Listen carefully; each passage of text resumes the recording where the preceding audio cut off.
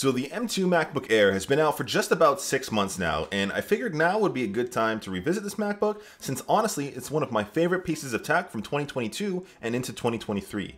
I will say I noticed a lot of the initial reviews were very comparative to the MacBook Pro lines and the M1 MacBook Air, which is fine, but this MacBook is its own device that honestly deserves a dedicated, less comparative review. And some of the reviews I've seen have ripped on the MacBook Air for things it's simply not designed for. It's not trying to be a pro machine meant for the pro user. However, it's absolutely a great choice for the everyday user and some creators. I'll be real too, I simply don't care for benchmarks or in-depth technical specs, but I do care how this performs in everyday use, so hopefully I can show you how it does. I don't want to discount the fact that the previous or other models exist, so I will mention some of those things at the end, but there are some key features that make this MacBook unique. So here's the review of the M2 MacBook Air from someone who doesn't get a new MacBook every year. And if you're new here, thanks for stopping by. On this channel, I'll talk about gaming, tech, and a few things in between. So if you enjoyed the video, be sure to leave a like or subscribe. And if you don't, next time you order a package, it'll be delayed just because. But getting into the unboxing, it's always a treat and there's not much to it. The box itself is simple in the similar Apple fashion. There's minimal branding on the side that says MacBook Air and an image of the M2 Air showing the absolute thinness of this device. Inside the box, you have the MacBook Air itself, which is wildly lightweight out of the box, and you have the new braided MagSafe cable, which is color matched to the MacBook. It's a nice touch veering away from the old solid white USB-C cables. It feels really high quality in hand and really does look great. The charger in box as well for the base model is a 30 watt charger with a Type-C port for the MagSafe, but for most people 30 watts is absolutely fine, although you can always opt in for the higher wattage for an extra charge. Lastly, you have the documentation with the stickers people like to mention but never use, and that's it. And getting this in hand, I can easily say it's by far my favorite in terms of size and aesthetic. I truly appreciate the weight and size of this MacBook coming in at just over one centimeter thick, and it's about two pounds in hand, legit less heavy than most textbooks. And like the newer MacBook Pros, they've gone with the squared off and rounded edges. I originally thought this would be uncomfortable to use, but it's actually fine. The model I have is the Midnight colorway, but it does come in Starlight, Silver, and Space Gray. The Starlight and Midnight are the new colors unique to the M2 Air, and I love them both. In some lighting situations, it almost looks black, and sometimes a deep navy, and sometimes a nice light blue, and yes, it's a fingerprint magnet, and it goes without saying, it is a premium built product. On the left side, you have two Thunderbolt 4 ports for display and peripherals, as well as the MagSafe connection, and on the right side, you only have one port being the high impedance headphone jack. The bottom does have rubber feet, which are actually pretty good at keeping it from moving around on surfaces, and on the top end, you have the classic Apple emblem. One thing I noticed is that there's zero branding on this laptop across the board. There's no debossed surfaces or branding below the screen, and personally, I prefer this. I don't really know why. And here's how it looks next to the Space Gray MacBook Pro. Again, I really dig how it looks. I will say too, turning this thing on is awesome that there's no fan at all, meaning it is literally completely silent. I will talk more about the display itself in a bit, but this is a 13.6 inch display, which I think is actually the perfect size in terms of portability. To talk about dimensions again, of all the recent MacBooks, it's definitely the smallest one available, being just under half an inch thick and only about two pounds weight-wise. It's truly super lightweight and convenient, and it's the sort of MacBook you'd want to and can take with you just about anywhere you go. Personally, I've always been a fan of smaller tech like the iPad mini 6 and the iPhone 12 and 13 minis, so it's definitely something I really appreciate. And while the other MacBooks aren't atrociously massive or heavy, this model does have a convenience factor being so light and thin. And just taking a look at the difference between this and my MacBook Pro, the difference is noticeable in both size and weight. In terms of the 13.6 inch display, it's actually pretty good. I can't say it's anything wildly impressive, but again, it's not really trying to be. It's just a decent all around display. This is a liquid retina display, meaning it's obscenely sharp and you can't really even see individual pixels even if you tried. It does have True Tone support to better display colors depending on your ambient lighting situation. Whether this looks better to you or not, that's totally subjective. When it comes down to colors though, it does look excellent while editing both video or photo and it gets plenty bright for indoor use. At 500 nits brightness, it does a great job all around. It might not do as well outdoors, but still it's very much usable. The bezels are also super thin to mention, and the display goes almost edge to edge, which again is super badass considering the size of this MacBook. Quality wise, I don't really have any complaints, especially while watching content. At the top of the display, there is the notch, which is apparently giving you more space on your screen. Frankly, I don't really see the benefit of the notch, but it also doesn't really bother me at all. It could be here or not, it just would have been nice to see something like Face ID. The display is only 60Hz as well, so if you're looking for high refresh, it might be something to miss, but really, some people simply don't care for it. I personally love high refresh rates, but this is a feature reserved for the Pro line. When it comes down to the size of the display, again, I feel like 13.6 is the Goldilocks size for a laptop. Again, it sort of depends on what your workflow is, but for everyday stuff like web browsing, word processing, and the like, 13.6 inches is absolutely fine. If you start getting into stuff like editing timelines, it might be a little bit crunched in terms of space, but even then it's still completely usable. I always like to tinker with the scaling options on my Macs to display the most stuff which makes this better for me.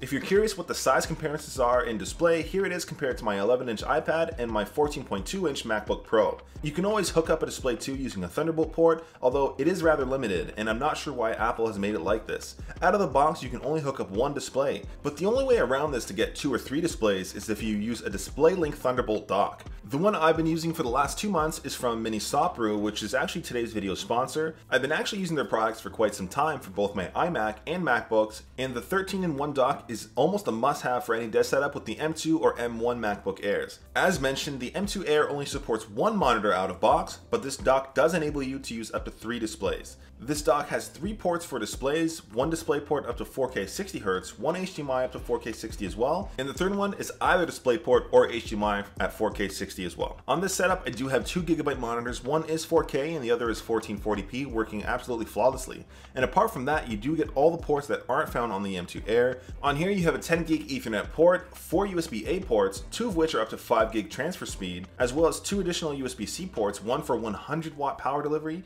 and the other for 5 gigabytes per second transfer speed. Using a DisplayLink dock is the only way to get multiple displays on the MacBook Air M1 and M2, so be sure to check out this one down below in the video description, and thanks to Minisopuru for sponsoring today's video.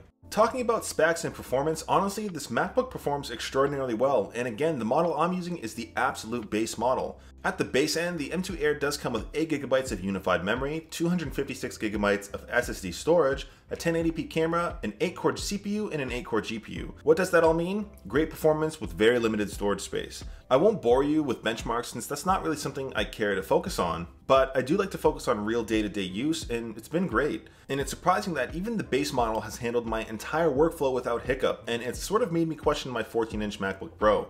Without crazy detail, chances are if this M2 Air existed before the launch of the MacBook Pro line, I most likely would have gotten this instead. I do have to say though, the base model storage is wildly abysmal at 256 gigs. It's simply not enough even for basic workflows, so you would likely want to spec this upwards if you're doing even the smallest bit of creative work.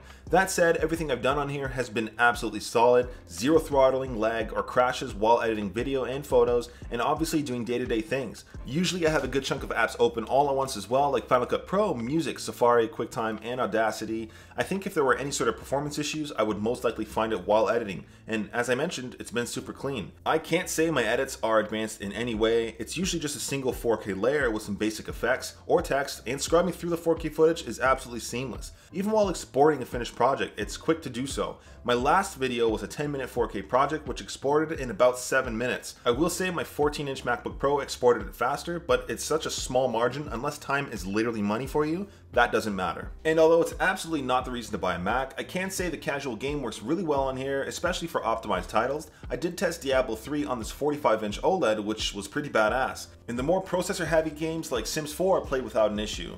Again, it's not what you get it for, but it still did a good job. And I do have to mention it again, just make sure you either spec up the storage or make sure you have external SSD to work with. In terms of ports and connectivity, like I mentioned before, there's really not that much here, which for some people might be too limiting. As mentioned, there are only two Thunderbolt ports, so once you start plugging in a display, you've only got one left to plug everything else in. Assuming you already have wireless peripherals, this might be an issue. That said, it's a MacBook, meaning portability is mostly in mind, so there's less likely that you need to plug things into it, especially if you're always on the go. In terms of the MagSafe port, it's pretty handy to have, although in my use case, since I'm mostly a desktop user, I've only ever really charged it through the Thunderbolt port. MagSafe does what it's designed to do either way, if ever yanked quickly, the charger will pop loose. And on the right side of the Mac, you only have one port, which is the high impedance headphone jack. While I mostly connect over Bluetooth, it's easy to forget the improved quality of being plugged in directly. I do recommend setting Apple Music to lossless, plugging in a good pair of headphones and giving it a try. I recently got the Sony XM5s, which are far better than I anticipated. When it comes to the keyboard and trackpad, Apple's done an excellent job. The keyboard in particularly is better than I expected. The keys are wonderfully tactile with a good amount of travel considering how thin this MacBook is. Of course, they're backlit as well, which can be changed in the control center.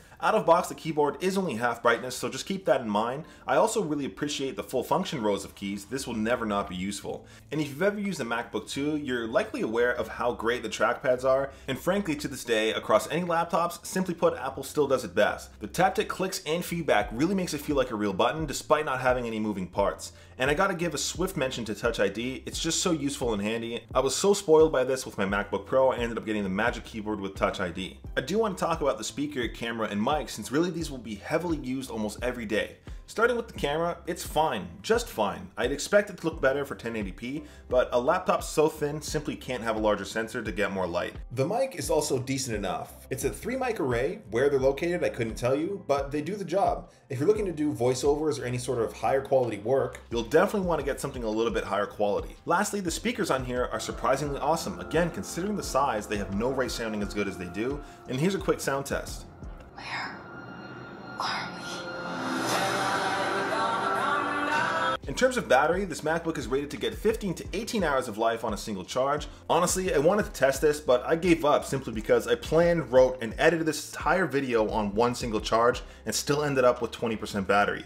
I figured if I could do that, it's almost unrealistic to do a whole full drain. The battery is amazing, and simply put, I don't think it's something to really worry about. Charging through MagSafe, I got this from 20% to full in under 2 hours, and that was with the 30 watt brick. I imagine that's even quicker with the 67 watt charger. So coming in at 1200 bucks, it's still expensive, and while this has been a dedicated review of the M2 Air, it'd be irresponsible not to mention some alternatives. I only want to mention three other models, that's the M1 MacBook Air, the 14-inch MacBook Pro, and the new M2 Mac Mini. To sum it up really, the M1 Air will do everything the M2 Air does when it comes to everyday things, especially since you would be saving 200 bucks. If you're considering any sort of gaming or creative work whatsoever, I think the M2 Air is still a better option in terms of performance and future proofing. That said, if you really do need more power and all the expanded inputs and a high refresh display, you could pick up a baseline 14-inch MacBook Pro from the refurbished store for 510 bucks more.